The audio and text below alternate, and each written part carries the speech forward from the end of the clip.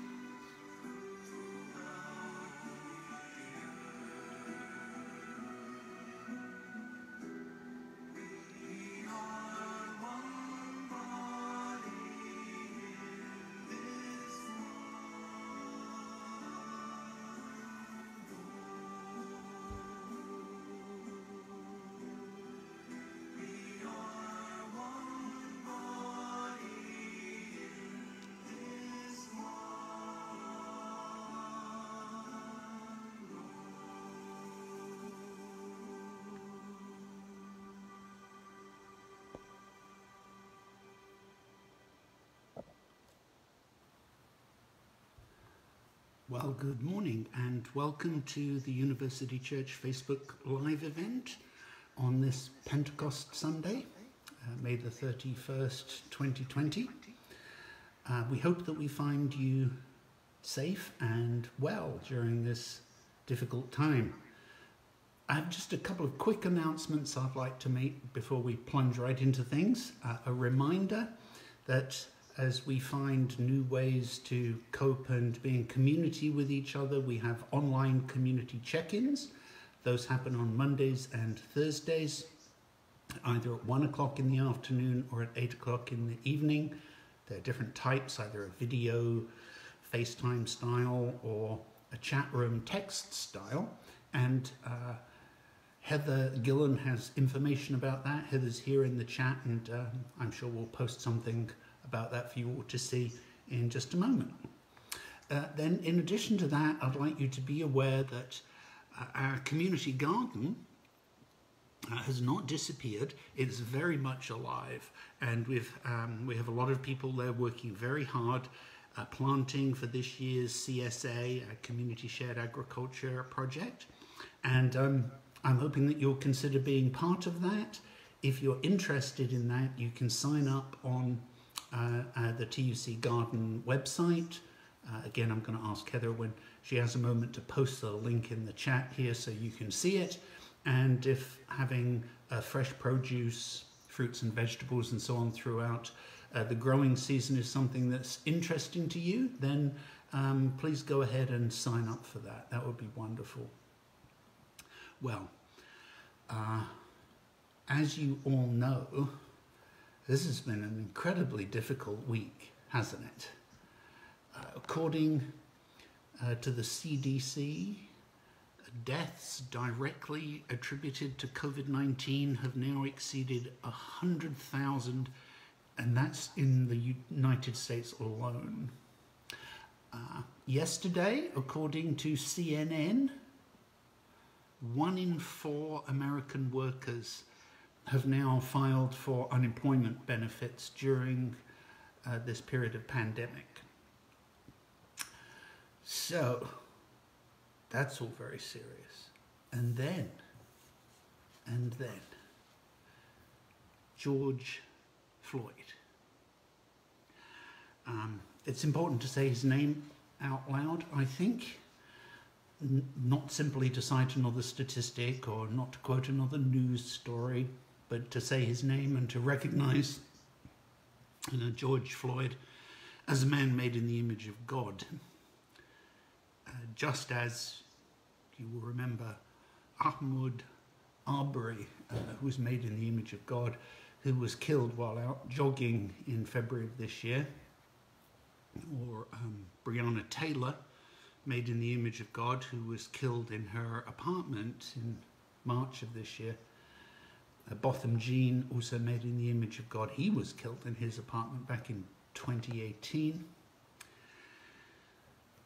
Tamir Rice, made in the image of God, a face I will never forget, who was killed at age 12 in Cleveland, so not far away from here, in 2014, was playing with a, a toy gun apparently, and it was mistaken for a real one. He was shot and killed and so on and so on. And so they're real names, um, and they belong to real people, and uh, they are uh, really dead. And on Pentecost, we speak of the outpouring of God's Spirit. God's that means God's breath. As you know, there's a Hebrew word ruah and a Greek word pneuma, and they both mean wind, breath, spirit. All of that's all one idea. And so this is the breath of God that is poured out onto all of God's people. And surely we need that as so many of God's people have drawn their last breath and have transitioning from being a real person with a real name to becoming a statistic or a news story or eventually, of course, to being forgotten. Uh, Bishop Gregory Palmer of the West Ohio Conference of the United Methodist Church uh, wrote this week uh, What a season we have been through, and what a week we are in. The angst and pain are palpable. I need you to know, he wrote, I share that pain. And I see me in some way, shape, or form every time I see video clips from Minneapolis and around the country. I have no illusion it could have been me. Bishop uh, Palmer, if you didn't realize that, is uh, African American. That's the world in which we live, he wrote. The death of George Floyd is a painful sequel to much that we've seen before. God help us, if you please. I grieve for the Floyd family and all the families that have had the same or similar experience. God heal their hearts. I shudder as I watch the burning in Minneapolis, but I do watch and choose not to look away. Looking away perpetuates avoidance. I look not to condone, but to be drawn deeper into the compassionate heart of Jesus, our Saviour. Lord, give us eyes to see. So, thank you to Bishop Palmer for sharing those words. So, as we think about this uh, this week that we have uh, been living in and uh, everything that it is uh, bringing together, we have been thinking about questions of direction and purpose. Where are we going? Why? What is our purpose? We've seen over the last few weeks that uh, those questions are not new questions, that people have been asking these questions all of the way back to the times of writings of the biblical narratives here. And in today's lectionary readings, the readings that were chosen to be used in churches across the world this week by the compilers of the lectionary, the question that's lifted up is really, to whom shall we turn for guidance? And what might that guidance be? Uh, we see, for example, in the lectionary readings that the psalmist in Psalm 104, speaking of all creation, writes, When you, God, give to them, they gather it up. When you open your hand, they are filled with good things. But then the, psalmist, the psalmist goes on to say, when you hide your face, they are dismayed. When you take away their breath, they die and return to the dust. But the psalmist adds a word of hope, writing, When you send forth your spirit, the wind of God, the breath of God, the spirit of God, they are created and you renew the face of the earth. Now, our lectionary New Testament reading is uh, uh, one of the classic Pentecost Sunday readings. It's from Acts chapter 2, and that reading follows up on the ideas of the psalmist by quoting from the Old Testament prophet Joel. In the last days it will be, God declares, that I will pour out my spirit upon all flesh so spirit, breath, wind. Surely today we need to renew the face of the earth, given that the Spirit of God, the breath of God, has been poured out on all flesh. This is a very uncomfortable passage for many. Uh, it, it's a passage that clearly says that the Spirit of God has been poured out on all flesh, ev- everyone. Here. Let's hear now um, the actual passage from Psalm 104 from this week. It's verses 24 to 34, and I'm just going to read it to you. O Lord, how manifold are your works! In wisdom, you have made them all. The earth is full of your creatures. Yonder is the sea, great and wide, creeping things innumerable are there, living things both small and great. There go the ships and Leviathan that you formed to sport in it. These all look to you to give them their food in due season. When you give to them, they gather it up. When you open your hand, they are filled with good things. When you hide your face, they are dismayed. When you take away their breath, they die and return to their dust. When you send forth your spirit, they are created and you renew the face of the earth. May the glory of the Lord endure forever. May the Lord rejoice in his works. Who looks on the earth and it trembles, who touches the mountains and they smoke. I will sing to the Lord as long as I live. I will sing praise to my God while I have being. May my meditation be pleasing to him, for I rejoice in the Lord. And may God add a blessing to our hearing of this word. Let's take a moment and pray together, friends. God of all creation, author of salvation, giver of all grace, when you hide your face, we are dismayed. When you take away our breath, our spirit, we crumble into dust. We pray for renewal of the face of the earth upon which we live and move and have our being. We pray that the outpouring of your Spirit upon all flesh will unite us with your creation. We pray that your Spirit will move us to speak truth to power, to see your vision for us within your kingdom, and to dream the dreams that call us to action. We pray that your Spirit will be given voice through our words, will be given form through our being, and will be given power through our deeds. In the name of Jesus the Christ, and through the power of the Holy Spirit. Amen. So, brothers and sisters, on this Pentecost Sunday, the uh, lectionary New Testament reading is from the Acts of the Apostles, the second chapter. It's a long reading, it's uh, 21 verses, starting at the very beginning of chapter 2. So, let me read that to you. When the day of Pentecost had come, they were all together in one place. And suddenly from heaven there came a sound like the rush of a violent wind, and it filled the entire house where they were sitting. Divided tongues as of fire appeared among them, and a tongue rested on each one of them. All of them were filled with the Holy Spirit and began to speak in other languages as the Spirit gave them ability. Now, there were devout Jews from every nation under heaven living in Jerusalem. And at this sound, the crowd gathered and was bewildered because each one heard them speaking in the native tongue of each. Amazed and astonished, they asked, Are not all these who are speaking Galileans? How is it that we hear, each of us, in our own native language?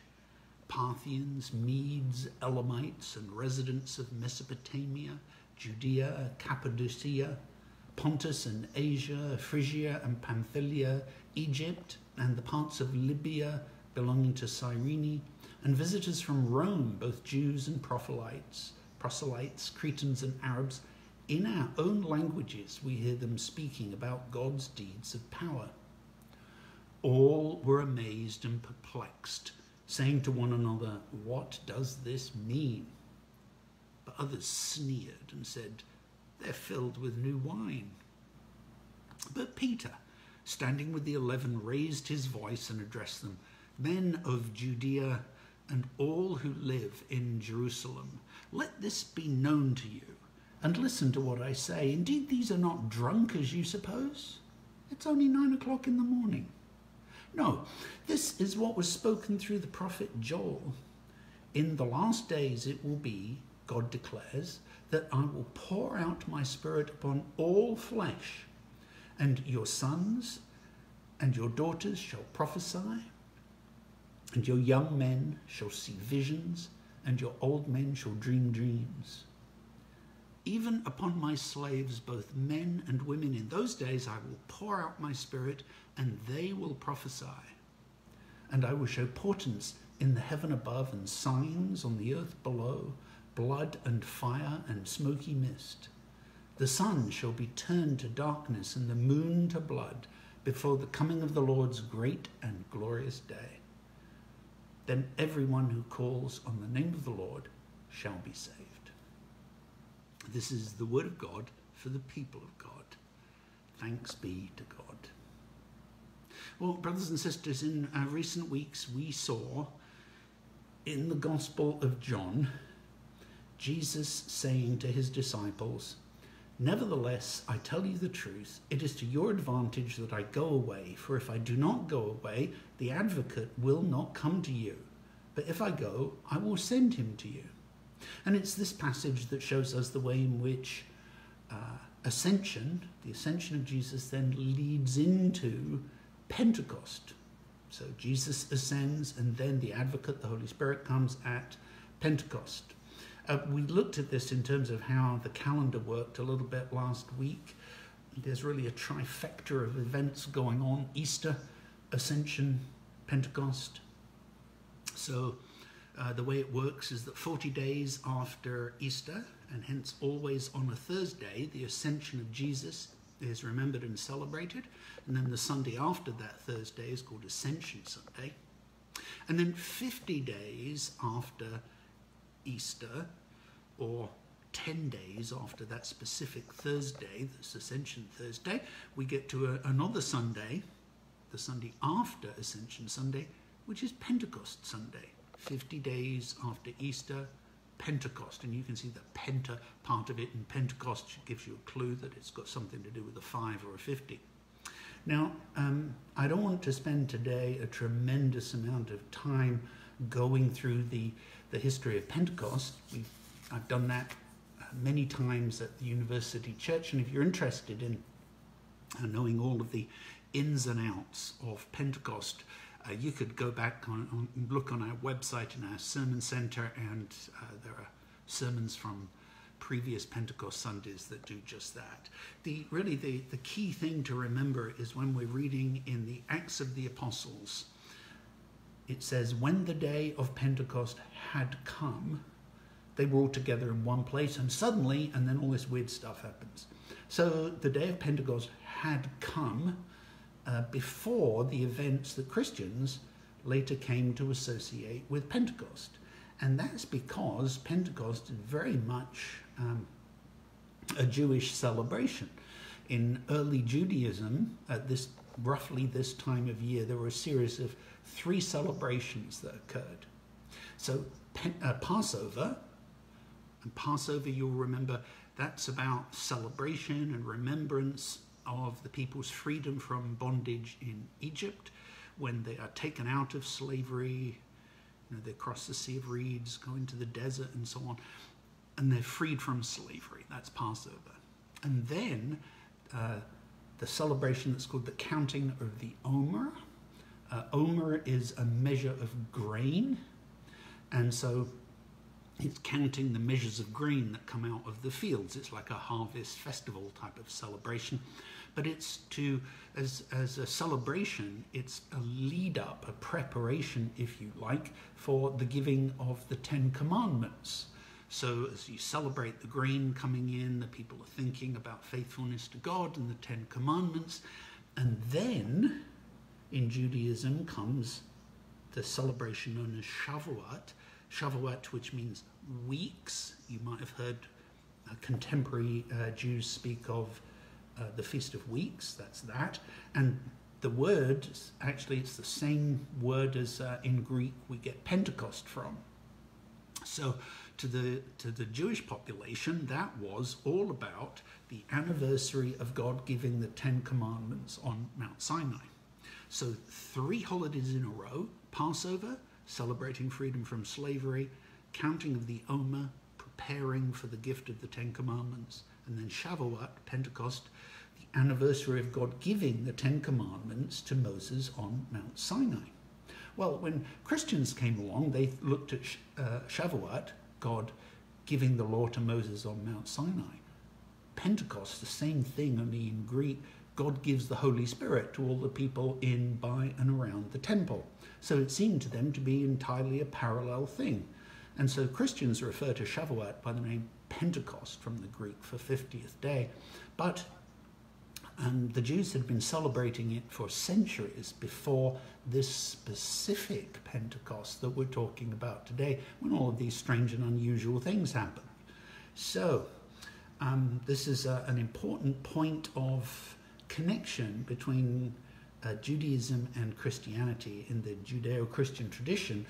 One could in fact say that what Pentecost really is, this is my, my preferred understanding of it, is uh, it completes God's giving of the law, which began with Moses on Sinai, and then it ends with the Holy Spirit pouring out on those at the temple. So it's like one great big long event that has bookends.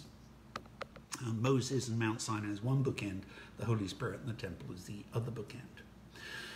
So, what could we learn about this? There are lots of things about uh, what's going on at this particular Pentecost that really matter. I just want to read one little bit of it, and then you can see, I'm sure you'll be able to tell me right away what's going on here. We read that, let's count them off for here Parthians, Medes, Elamites, residents of Mesopotamia, Judea, and Cappadocia, Pontus and Asia, Phrygia, Pamphylia, Egypt, the parts of Libya belonging to Cyrene, visitors from Rome, Jews, proselytes, Cretans, Arabs. They're all there, aren't they? Everybody. It sounds like a kind of who's a who of, uh, of the Middle East at this particular time. What the event that is about to happen at this particular Pentecost, this outpouring of the Spirit, seems to have expanded itself beyond the limitations of simply the people of Israel to be the people of Israel and everybody else. It's about inclusion, it's about extending embrace beyond, what should we say, the in crowd, people who were already there, who'd been celebrating Pentecost for century after century, and now suddenly something happens and everybody's included. Now, is that strange? Yes, it's very strange. In fact, the people who were there, one group of them, trying to seek meaning, and they say, What does this mean according to the text? But there's another group here who aren't interested in meaning.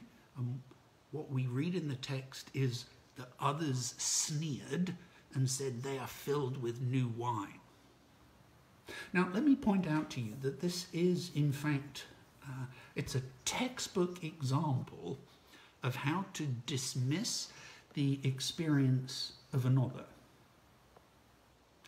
In this case, you simply assert that the other person is drunk, and hence everything that they've experienced, that they're trying to figure out what does it mean, what does the world look like now, that it's all simply nonsense because they were drunk.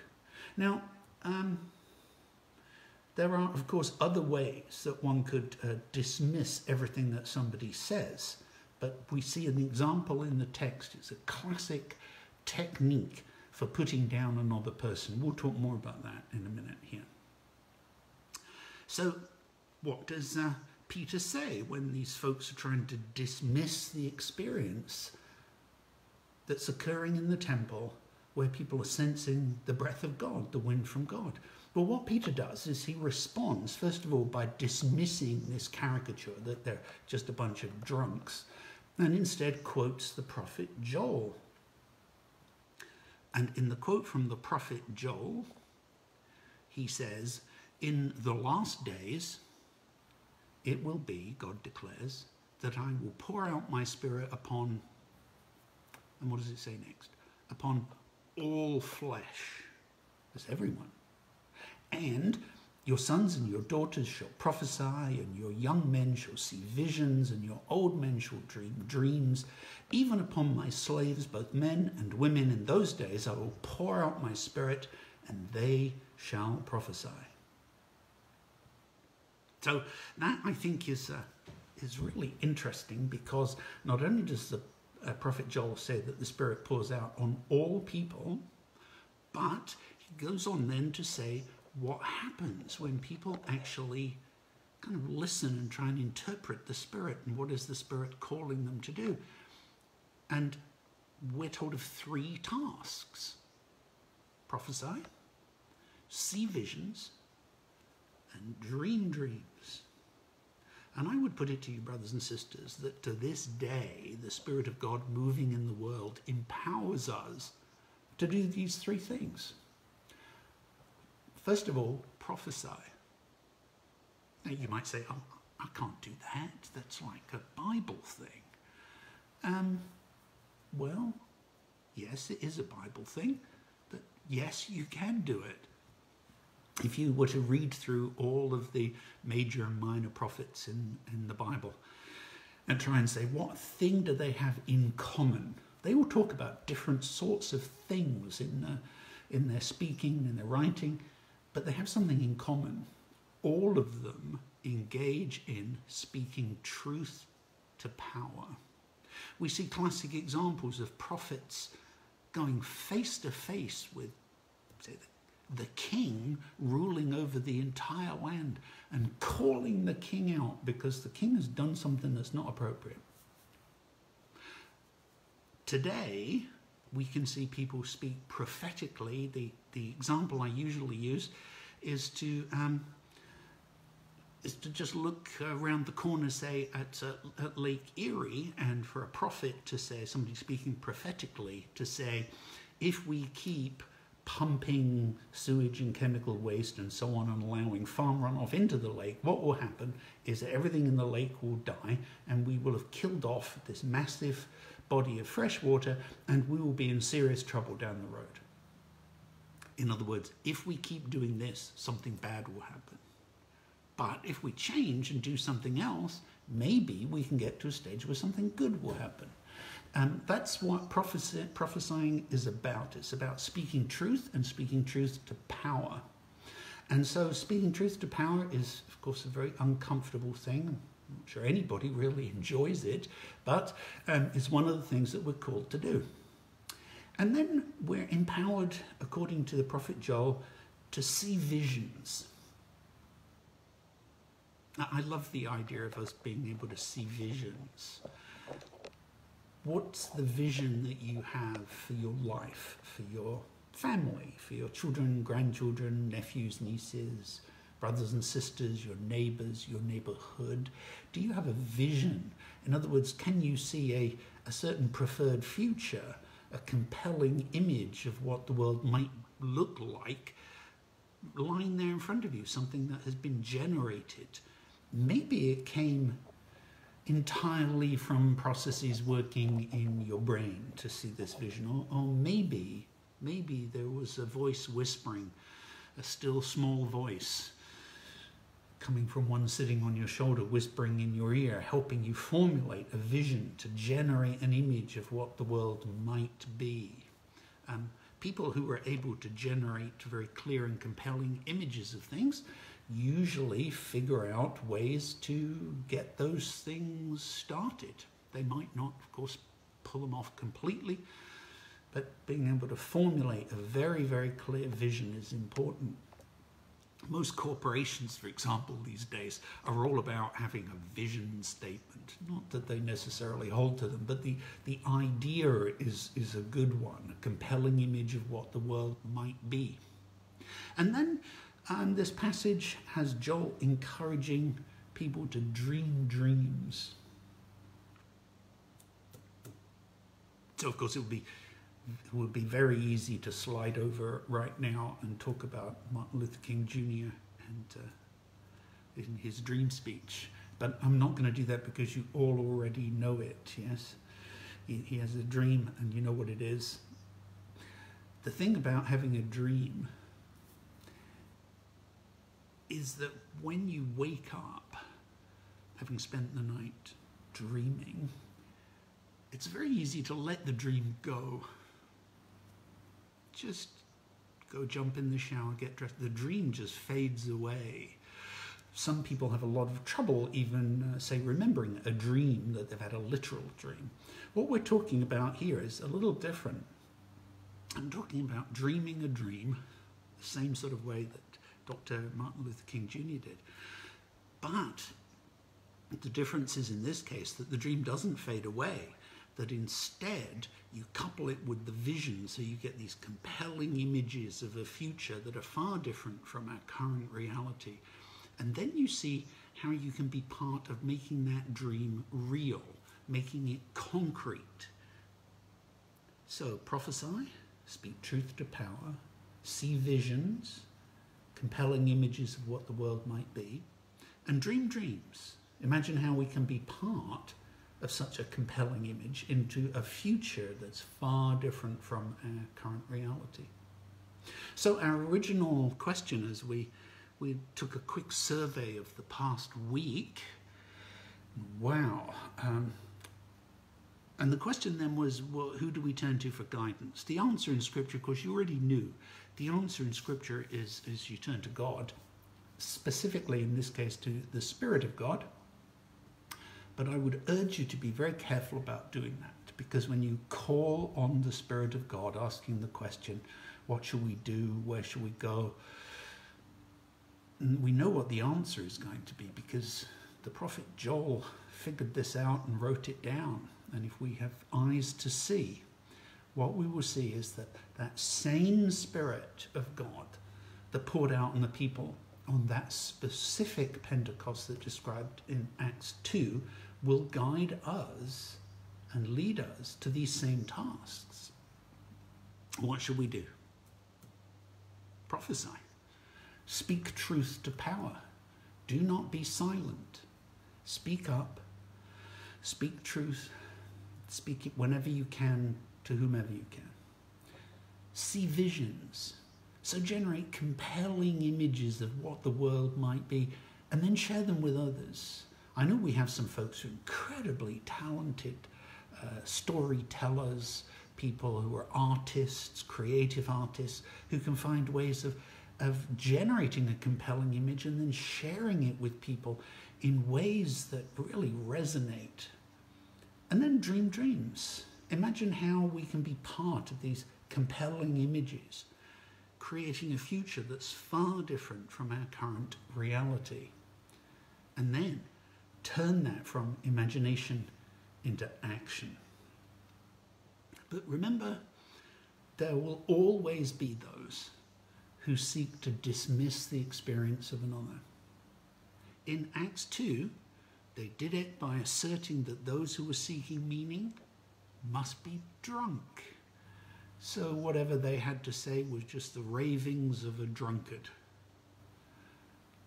Perhaps today people might assert that you and your life experience should be dismissed. They might say that you're too young, or too old, or too impulsive, or too optimistic, or whatever it might be. You will remember in the text that Peter, rather than engage these folks who are trying to dismiss other people's experiences, he brushes them aside by turning what they say into a joke. So after people have pointed uh, at the disciples and said uh, they've been they've been at the wine, uh, Peter turns around and says, "Indeed, these are not drunk as you suppose. It's only nine o'clock in the morning." You know, the implication being, of course, if it was three in the afternoon, it would be fine to be drunk, but it's nine o'clock in the morning, so of course they aren't. It's a joke. So maybe you can find your own way of brushing aside those who dismiss your experiences. Because if you put all of your energy into debating people who dismiss your experiences, you'll never get around to uh, prophesying and dreaming dreams and so on and so forth. So, to follow the prompting of the Spirit in this extraordinary week that we've been living through, prophecy, which is about speaking truth to power, seeing visions, which is about generating compelling images of what the world might be and then sharing them with others, and dreaming dreams, imagining how we can be part of these compelling images that would constitute a future far different from our current reality, and then turning that imagination to action.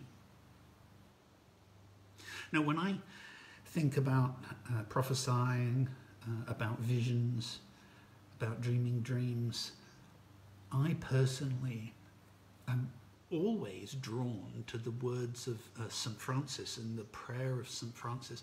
I'm not really sure why, um, but it just pops right into my head whenever I think about those things. So I would like to just share it to you, and perhaps it will resonate to you, maybe even in a way that we don't even fully understand.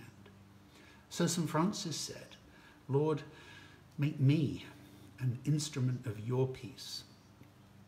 Where there is hatred, let me sow love.